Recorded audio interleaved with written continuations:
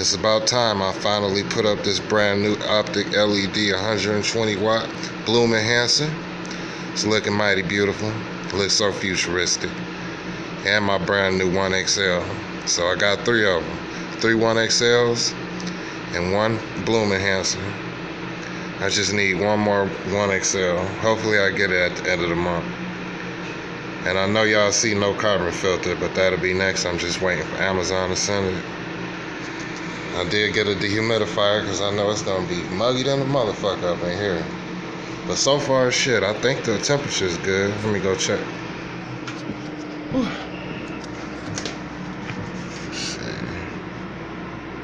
Yeah, I think that should be good. It got an alarm too if it's too high or if the heat too high. So shit, shout out to West Coast Cannabiz. Hope everybody have an awesome grow.